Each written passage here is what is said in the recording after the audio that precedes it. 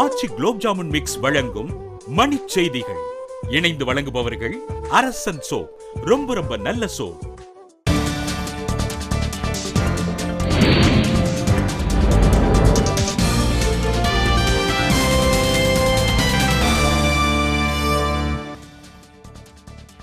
NEET தேர்வுக்கு எதிராக அமைதியான முறையில் போராட்டம் நடத்த உச்சநீதிமன்றம் அனுமதி பிரதமர் மோடிக்கு எதிராக திக் விஜய் சிங் பதிவிட்டுள்ள ட்விட்டர் கருத்தால் சர்ச்சை மன்னிப்பு கேட்க பாஜக வலியுறுத்தல்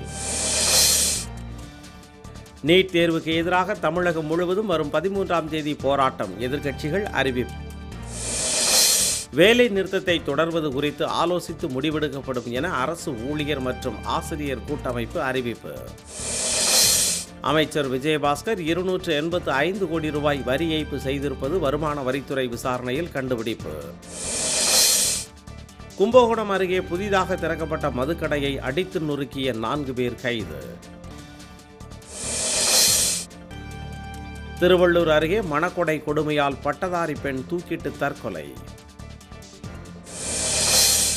கோவில்பட்டி அருகே சாலையில் குளம்போல் தேங்கிய மழைநீரில் பொதுமக்கள் காகித கப்பல் விட்டு நூதன போராட்டம் பத்து விழுக்காடு பொருளாதார வளர்ச்சியை அடையும் முன்பு பெருமிதம் பேசக்கூடாது என நடுவண் அரசு மீது ரகுராம்ராஜன் தாக்கு ராமநாதபுரம் மாவட்டம் பெரியபட்டணத்தில் நடைபெற்ற சந்தனக்கூடு விழாவில் ஆயிரக்கணக்கான மக்கள் பங்கேற்பு ஆட்சி குலோப் ஜாமுன் மிக்ஸ் வழங்கிய மணி செய்திகள் இணைந்து வழங்குபவர்கள் அரசன் சோ ரொம்ப ரொம்ப நல்ல சோ